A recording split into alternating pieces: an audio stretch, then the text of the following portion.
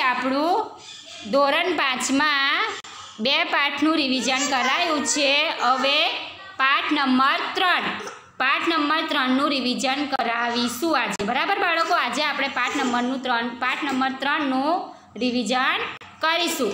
તો કયો પાઠ છે આપણો? ગુજરાતમાં શ્રેષ્ઠ. તો તમારે અધ્યયન કરવાનું અને બેટા યાદ રાખવાનું. તો જુઓ, સૌપ્રથમ શું છે?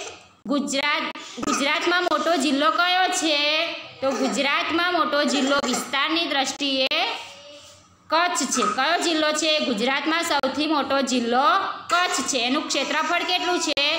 તો પિસ્તાલીસ હજાર છસો ને ચુમ્મોતેર ચોરસ કિલોમીટર. પછી મોટો જિલ્લો વસ્તીની દ્રષ્ટિએ કયો છે? તો મોટો જિલ્લો વસ્તીની દ્રષ્ટિએ અમદાવાદ.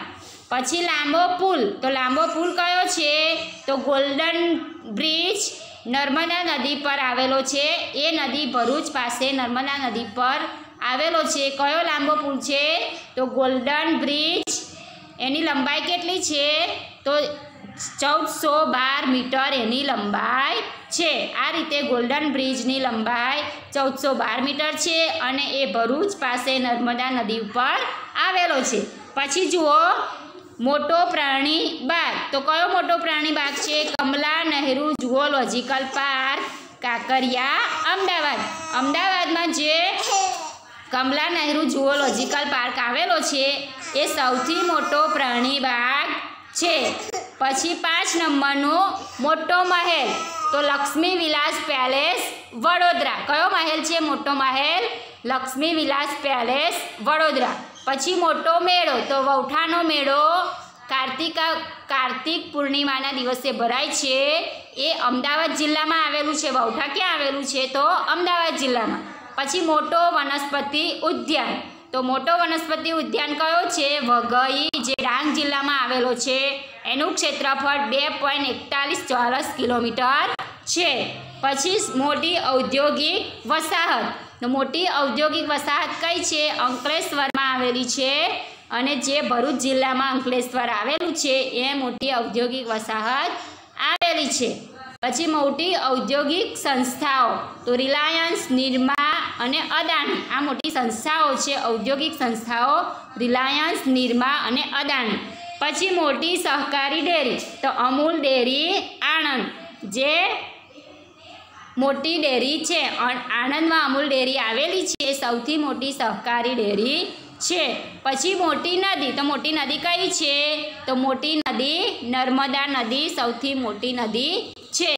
પછી લાંબી નદી લાંબી નદી પણ નર્મદા જ છે. જેની લંબાઈ તેરસો ને બાર કિલોમીટર છે. ગુજરાતમાં એનો એકસો ને એકસઠ કિલોમીટર છે. ગુજરાતમાં આ નદી કેટલી છે?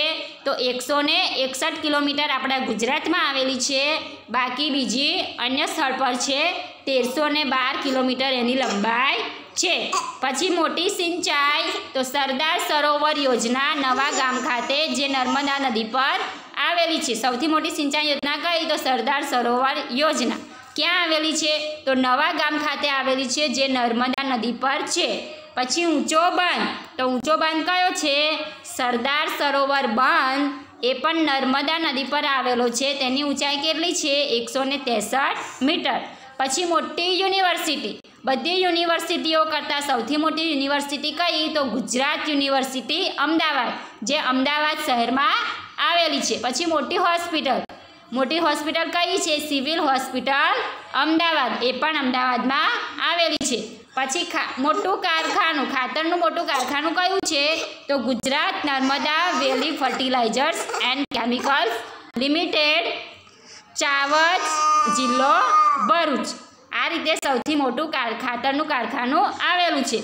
પછી મોટું ખેત ઉત્પાદન બજાર, ઊંઝા જે મહેસાણા જિલ્લામાં આવેલું છે. પછી મોટું બંદર કયું? તો કંડલા, જે કચ્છ જિલ્લામાં આવેલું છે. મોટું રેલવે સ્ટેશન કયું છે? તો અમદાવાદ. અને મોટું વિમાન મથક કયું છે? તો અમદાવાદ. એટલે કે બધું સૌથી મોટું મોટું અમદાવાદમાં આવેલું છે. હોસ્પિટલ મોટી છે, રેલવે સ્ટેશન મોટું છે, વિમાન મથક મોટું છે.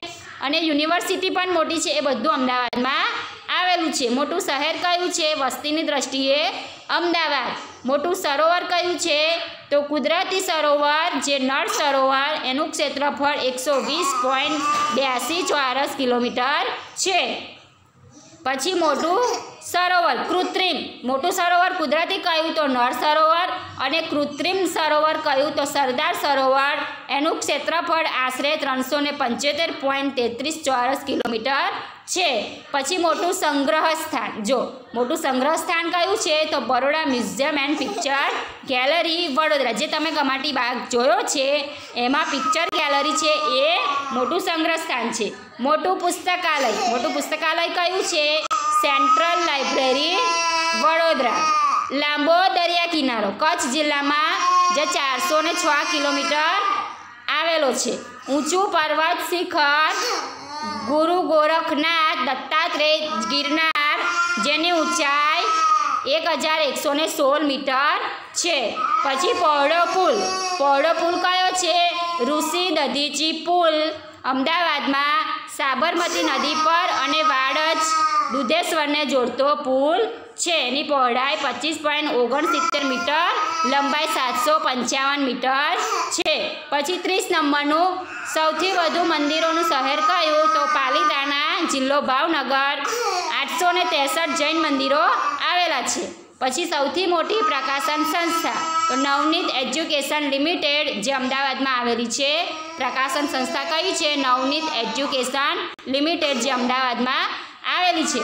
તો ગુજરાતમાં શ્રેષ્ઠ એનું રિવિઝન પણ મેં તમને કરાયું બેટા. તમારે નોટમાં લખવાનું, રિવિઝન મારીને અને યાદ પણ રાખવાનું. ચાલો, અલ્લાહ હાફિઝ.